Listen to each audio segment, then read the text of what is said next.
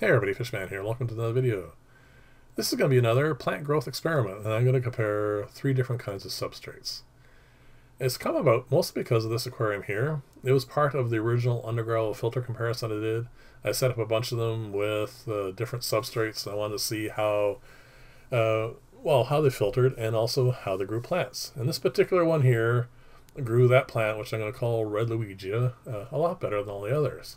I mean, the rest of the plants did really well in all the setups, but that one plant actually made me think that there may be something to this.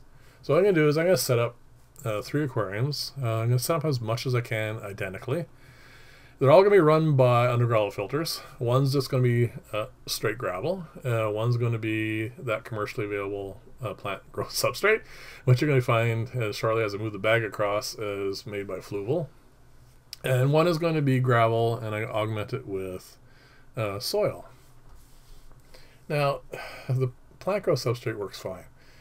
I do have a bit of issue with the flow through in an undergravel filter, but it does a good job.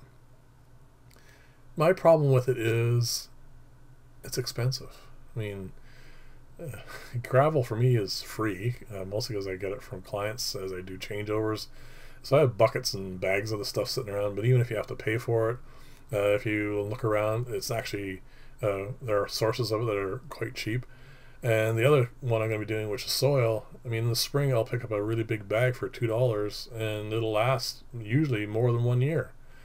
So, I mean, it would have to do really, really well in this experiment for me to warrant uh, putting the money out for it. And we're going to see mostly how it compares to a soil because that's obviously uh, the best comparison as far as growth goes. Lots of plants will do well with the gravel. I mean, the fish will provide a lot of filter, uh, fertilizer, um, but we'll have to see how this as this progresses. So this is the gravel one. You'll also notice that I'm doing something slightly different for these particular undergravel filters. Actually, I've been doing a lot of different things for undergravel filters lately, and every time I build one, I seem to try something different, and I'm actually going to have to put up a video, I think, at some point in time to show you how this all evolved. This particular version here is mostly the lift stack. You'll see it's nice and stubby, and the reason for that is I want to be able take this out of the aquarium, move it from aquarium to aquarium without having to tilt it, spill it, and or dump any of the media out.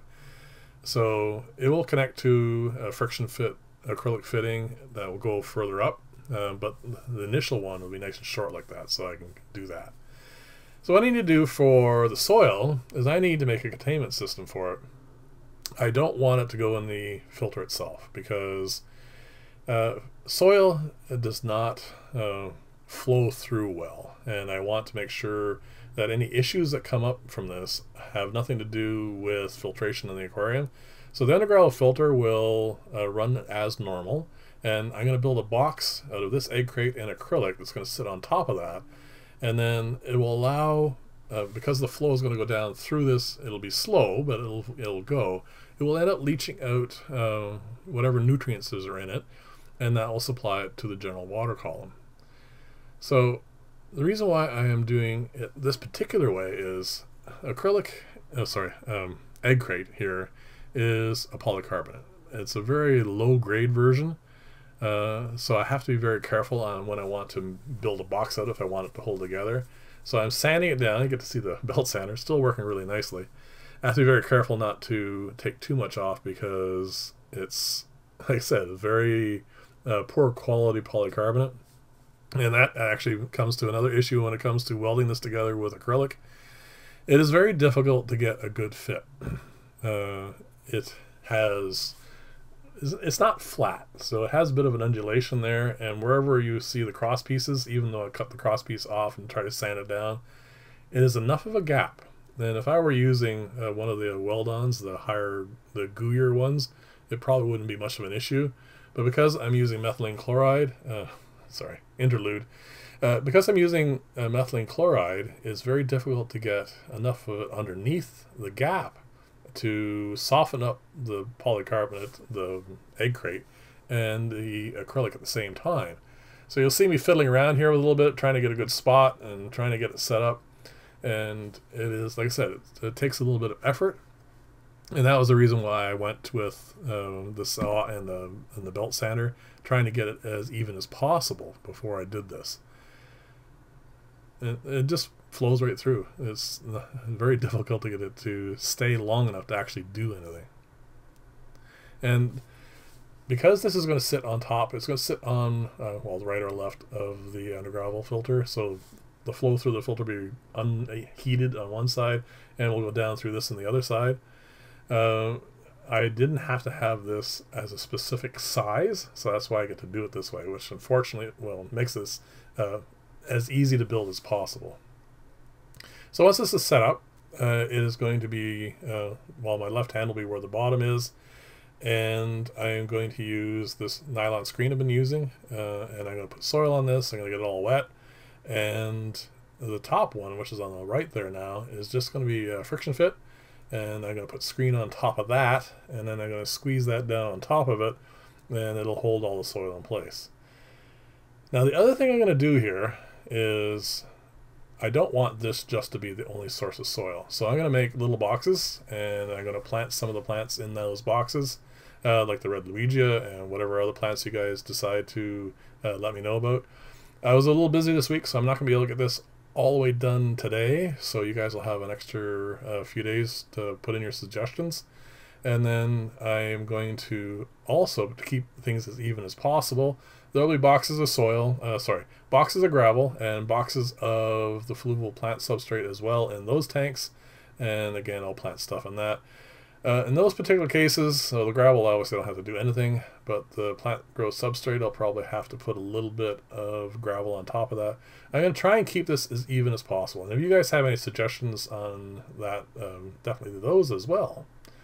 So this is going to be, as you can see, I left the one side a little oversized, uh, again, because of the materials I'm working with. That's easy just to take off with a saw. So that's pretty much done now, and it's a matter of loading this up with the soil. It's interesting trying to do that. Uh, it, it was easy enough, it just took a little while. It's uh, one of those things that I kind of actually expected to flow a little bit faster through this, but I'm actually really glad it doesn't. And uh, as this progresses, I'll try and explain uh, the reasons why. But uh, it just involves in I don't want too much tannins in the water, and I don't want too much nutrient to be released uh, prematurely. So it is actually kind of cool that it's working this way. So there you go. Uh, the one screen on the bottom, one screen on top of the soil, and then the final egg crate to keep everything in place.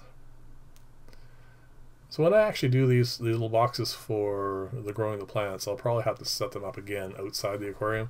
There are going to be fish in there, and I don't want to end up making a, a huge mess and causing issues with the fish or any of the bio, other biochemistry that's going on in here. I'm going to probably get most of this set up in the next week or two, and then we're going to obviously just let it run. And all the aquariums are going to get the exact same feedings. I'm going to try and set them up with the same uh, bio loads uh, and also, they're all going to get the same amount of water changes and all that sort of stuff. So, hopefully, we'll keep things as consistent as possible and uh, end up with something really interesting. I mean, the Vallisneria uh, was actually kind of a cool experiment as well, and how it all turned out in the end was kind of interesting. But I think this is going to go the little extra bit of distance that the other one didn't because of, first off the extra plants and also because I'm going to go to a little bit more of a pain here to make sure the setups are more similar. So there you go, that's pretty much set up now. I'm going to let that drain through uh, more than once. this is going to be a bit of a time lapse here, but uh, I'm not going to show it all to you either because it's you know it takes a little while. I want to rinse a little bit of it out. I want to make sure it doesn't dirty the tank up too much, and that needs to be rinsed. And then I'm going to sit it in the aquarium. So that's pretty much how this is all going to go. This is as far as I got today. Uh, I haven't built the high humidity planters yet. I am not going to uh, put anything but gravel in the top of those. Uh, I don't think it would work well. If you guys have uh, a strong opinion about that, definitely let me know about that as well. So that is going to be for next week, next Wednesday most likely. Uh, I'm going to try and continue with the um, pump build on Friday. Uh, we'll see how that goes. Again, this has been a very busy week. So this is the plant growth substrate. None of these plants matter. They're not the ones that are going to be in here. They're just the ones that I had, uh, like uh, ones that were either in the tank or the ones that were nearby, just to put stuff in. And this is how the soil one's going to be set up. Uh, this just got done, so that's why the water's a little cloudy. Uh, this one's uh, this one I'm going to find interesting. Uh, this is the one I wanted to see how that one does. And as I said, definitely leave comments.